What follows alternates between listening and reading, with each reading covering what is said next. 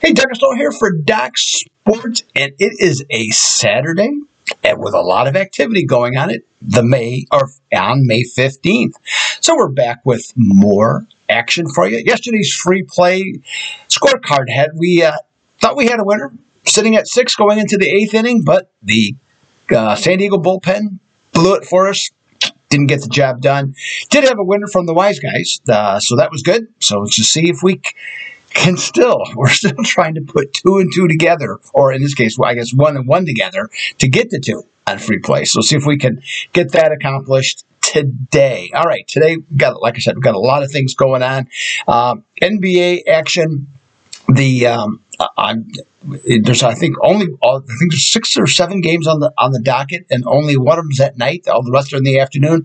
And I have a play in afternoon action. It's a small play, okay, but I have an afternoon uh, action play, and it's uh, comes to try and build on a 47 and 29 record over the last nine weeks. Good for over $6,100 profit based on units. So see if we can deliver yet again, because I don't know if I'm going to have a play, even though everybody's playing tomorrow. I'm not sure I'm going to have a play necessarily. So this could be my last play before the end of the regular season. Major League Baseball hit my biggest play of the season last night with the Boston Red Sox coming from behind to beat the Los Angeles Angels. Like I said, it's my biggest play of the season. So we had a winner there, and that takes me to nine and two in my last 11 baseball plays. And I'm coming back with another five unit play, another, you know, uh, not my best play of the year, but among the uh, uh, top plays of 2021. So got that one. And there's one more included in that package then too. So you get two plays, okay, for just $30 at the doc site. Uh, NHL going to pass yet again today. Playoffs start today, uh, but I don't like the Boston Washington game, but I know I, am looking at two games for tomorrow. Might, I don't know if it'll be one or two, but I'm looking at two of them for tomorrow.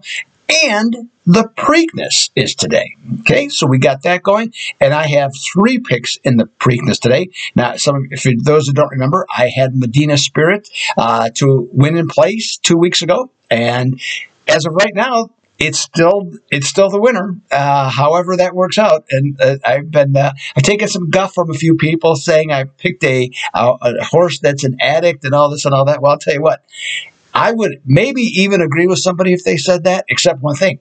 I had no idea that the horse w- was getting that substance. Okay. So, be it as it may, I picked the right horse. I'm trying to pick the right horse again today. I got three bets going today in the Preakness. Plus, I also have one in the 11th race. So you can get all four plays for just 25 bucks at the Doug Upstone page at Doc Sports today. So let's see if we can deliver in the horse racing yet again.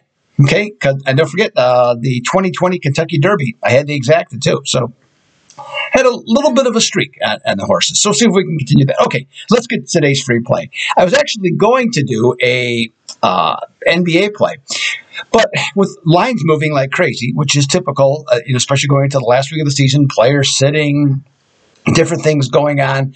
Uh, other than one game, I didn't see any value at all, okay, in my opinion, in playing the NBA. So, even for a free pick. So, instead, jumping over to Major League Baseball. Uh, the Chicago Cubs yesterday won their fifth road game in 16 tries. Uh, so, they've been terrible on the road, but they got it done in Detroit yesterday. And they also ended their three game uh, losing streak and snapped the Tigers' four game win streak. Uh, Detroit's going to start Jose Urena tonight, and he has a solid 3.60 ERA.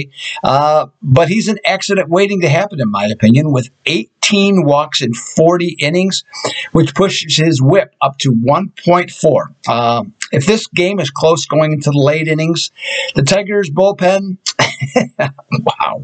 6.47 ERA, which is the worst in the major leagues, and it's and it's so bad that it's three quarters of a run higher, basically, than Colorado's, which is 29th. Three quarters of a run.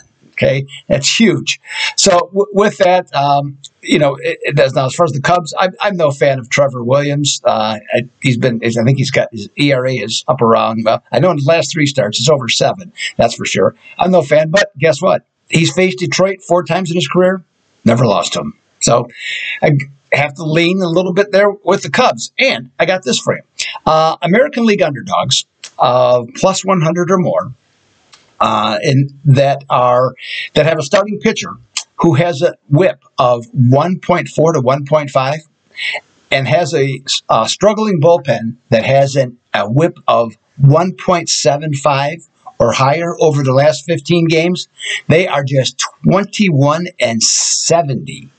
So let's take the Chicago Cubs, not because I have that picture behind me. Let's just take them because I think it's the better play. Let's take the Chicago Cubs minus the 130 over the Detroit Tigers today. Okay, so uh, just to let you know, we yeah, once again Preakness action, horse racing. Okay, I got three plays for the Preakness, one other race, 25 bucks. NBA afternoon action available. I got a Major League Baseball five unit play plus another, just 30 bucks at my page at Doc Sports. Okay, wise guy play. Okay, today with all the injuries going uh, and guys sitting out for Boston, Minnesota Timberwolves as favorites over the uh, Boston Celtics today is the wise guy play for Saturday. So as as you know the drill, I will not be here to do a video on Sunday, but you go to my page, there'll be one there, guaranteed for sure. Otherwise, I'll be back on Monday. Have an absolutely fantastic weekend. I certainly plan to. This is Doug Upstone for Doc Sports. Until next time, I'm out.